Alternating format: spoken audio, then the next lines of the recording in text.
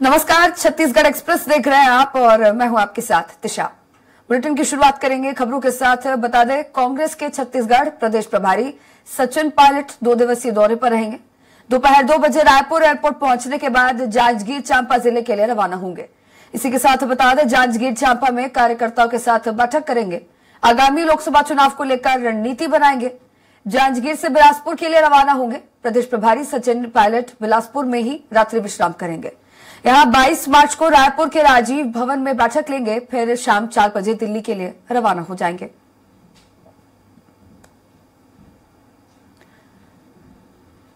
राजधानी रायपुर से ये खबर आप तक पहुँचा रहे हैं। बता दें कि लोकसभा चुनाव बेहद नज़दीक है, आचार संहिता भी लागू हो चुकी है। और इसी के चलते अब प्रदेश प्रभारी सचिन पायलट का छत्तीसगढ़ दौरा रहने वाला है। आज छत्तीसगढ़ आएँगे। दो दिवसीय दौरे पर छत्तीसगढ़ रहेंगे। प्रदेश प्रभारी सचिन पायलट यहाँ कार्यकर्ताओं से, कांग्रेस नेताओं से मुलाकात करेंगे। बैठकों का दौर लगातार जारी रहेगा और ये सभी बैठकें प्रदेश प्रभारी सचिन पायलट के नेतृत्व नेतृत्व में होंगी। बता देंगे लोकसभा चुनाव के मद्देनजर बेहद महत्वपूर्ण ये दौरा रहने वाला है। तमाम तरह की तैयारियाँ इस दौरान की जाएँगी। चुनावी तैयारियों का जायजा लेंगे प्रदेश प्रभारी। कार्यकर्ता को रिचार्ज करते नज़र आएँगे।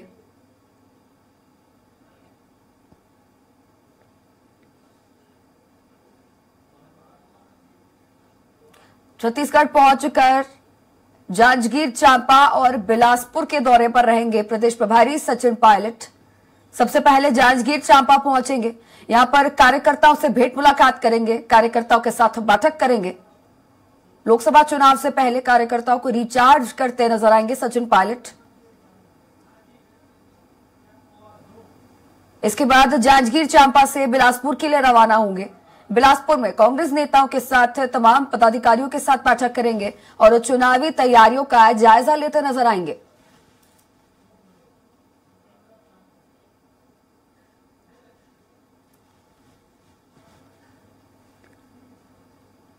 एयरपोर्ट से जांजगीर चांपा ज़िले के लिए रवाना होंगे।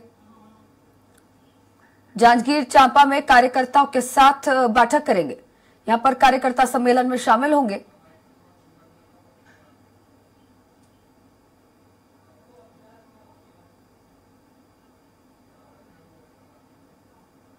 आज दोपहर दो बजे रायपुर एयरपोर्ट पहुँचेंगे।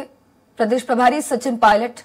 रायपुर एयरपोर्ट से जांजगीर चांपा के लिए रवाना होंगे। जांजगीर चांपा पहुंचकर यहाँ पर कार्यकर्ताओं को संबोधित करेंगे, कार्यकर्ताओं से बातचीत करेंगे। अब इस खबर पर अधिक जानकारी साझा करने के लिए संवाददाता हेमंत शर्मा मेरे साथ लाइव जुड़ चुके हैं। हेमंत, आज प्रदेश प्रभारी सचिन पायलट आचार संहिता लगने के बाद प्रदेश में आने वाले हैं।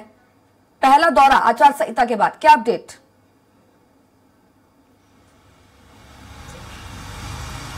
देखिए दृष्टा काफ़ी दिन बाद छत्तीसगढ़ कांग्रेस प्रभारी सचिन पायलट का दौरा हो रहा है। आज वो दो दिन के दौरे पर छत्तीसगढ़ पहुँचेंगे और तमाम बैठकें अलग अलग लोकसभा में जाकर वो लेने वाले हैं।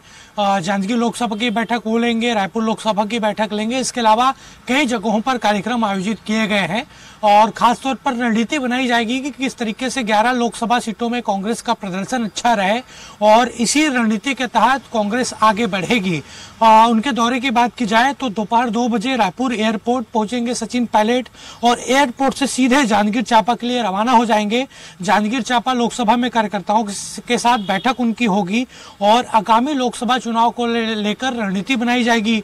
जांजगीर चांपा लोकसभा काफ़ी अच्छा प्रदर्शन विधानसभा के दौरान उस इलाके में कांग्रेस ने किया था। ज़िले की जो आठ विधानसभा सीटें हैं लोकसभा की, वो कांग्रेस ने जीती थी। तो इसलिए सुनहरा अवसर है कांग्रेस के पास उस लोकसभा सीट को जीतने के लिए, क्योंकि पिछले कई दफ़ा से वो लोकसभा सीट कांग्रेस के हाथ में नहीं है।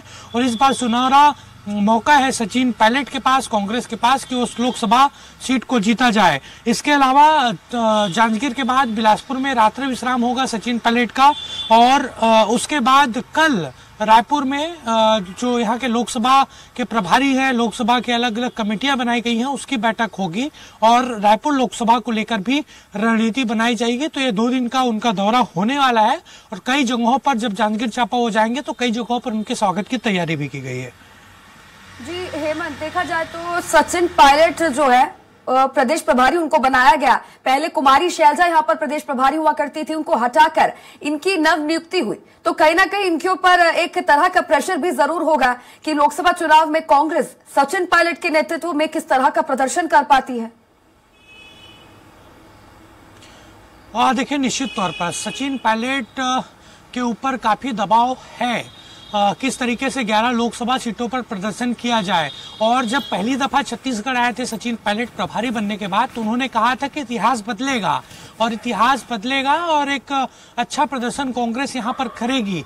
और मेहनत भी उसी तरीके से सचिन पायलट करते नज़र आए। हालाँकि काफ़ी लंबे समय के बाद वो छत्तीसगढ़ आ रहे हैं। कोई बैठकों का दौर कांग्रेस में नहीं हो रहा था लोकसभा चुनाव को लेकर। बीजेपी में एक तरफ़ लगातार कमेटियों की बैठक चल रही है। उनके सह प्रभारी लगातार बैठक ले रहे हैं लेकिन यहाँ के जो प्रभारी है कांग्रेस के, वो काफ़ी दिन बाद आ रहे हैं, लेकिन फिर भी अब कोशिश होगी कि अलग अलग इलाकों में माहौल बनाया जा सके और निश्चित तौर पर सलजा को हटा के प्रभारी बनाया गया सचिन पायलट को। तो सचिन पायलट के ऊपर प्रेशर काफ़ी है कि किस तरीके से 11 लोकसभा सीटों में अच्छा प्रदर्शन करके जो इतिहास है, कांग्रेस दो सीटों से आगे बढ़ी नहीं है लोकसभा में छत्तीसगढ़ में, उस इतिहास को बदला जाए और एक अच्छा प्रदर्शन कांग्रेस के लिए किया जाए। जी, हेमंत, छत्तीसगढ़ पहुंचकर जांजगीर चांपा और बिलासपुर दौरे पर रहेंगे सचिन पायलट। यहाँ पर कार्यकर्ताओं के साथ भेंट मुलाकात करने वाले हैं। तो निश्चित तौर पर यह भी कहा जा सकता है कि चुनाव से पहले कार्यकर्ताओं को रिचार्ज करते नज़र आएँगे, क्योंकि विधानसभा चुनाव में बड़ी शिकस्त का जो कांग्रेस ने सामना किया उसके बाद कार्यकर्ताओं में हताशा है। हाँ देखिए, सचिन पायलट के ऊपर कई सारे दबाव हैं। पहला दबाव कि वो कार्यकर्ताओं के बीच जाएँ, कार्यकर्ताओं को रिचार्ज करें।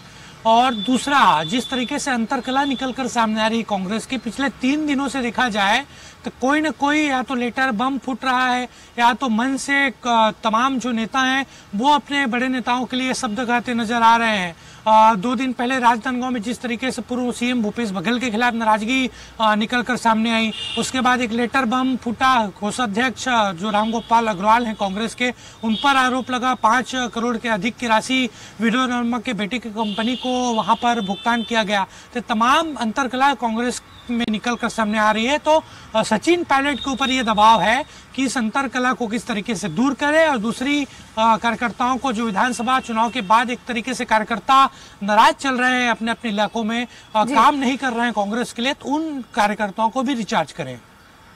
चलिए ठीक है हेमंत बने रहिए कुछ और भी खबरों पर मैं आपसे जानकारी लूँगी।